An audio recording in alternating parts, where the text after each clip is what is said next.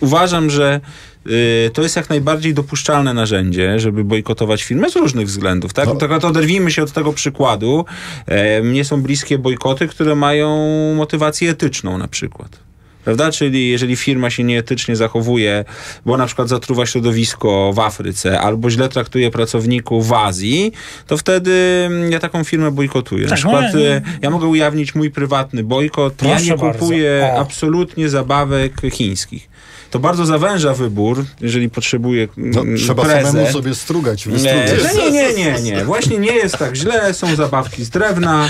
Można kupować klocki pewnej firmy, która gwarantuje, że jej produkty nie są robione w Chinach. One są droższe, zgoda. Nie wymieniając nazwy tej firmy, każdy rodzic... Ale pan ponosi świadomie ten koszt. Natomiast ja uważam, że warto za to płacić. Po pierwsze z przyczyn etycznych, a po drugie dlatego, że to gwarantuje wyższą jakość najzwyczajniej w świecie, tak? Farby, środki użyte do produkcji tych zabawek. Także Ostatnio ogłoszono bojkot e, rosyjskiej wódki. Ciekawe, jak to się sprawdza w naszych Wie warunkach. pan, o wiele gorszy był bojkot e, sieci stacji paliwowych rosyjskich, kiedy któryś kiedyś próbowaliśmy zrobić, zapominając e, skąd jest paliwo w e, tych niebojkotowanych e, stacjach w Polsce.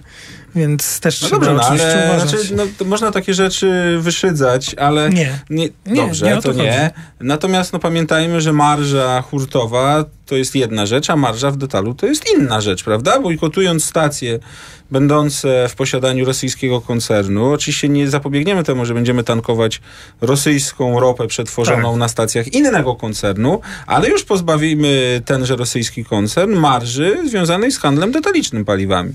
To nie, nie mam złudzeń, że to jakoś zaboli szczególnie, ale takie gesty wydają mi się ważne z różnych względów. W Polsce to nie wychodzi. No właśnie, tylko że w Polsce to W nie Polsce to nie wychodzi. wychodzi. Za czym Panie jest- niech pan, spojrzy, niech pan spojrzy na dowolną, ale do, absolutnie dowolną, abstrahuję od tego, że to prawica, lewica, y, poglądy ekonomiczne takie czy siakie. Dowolną sprawę.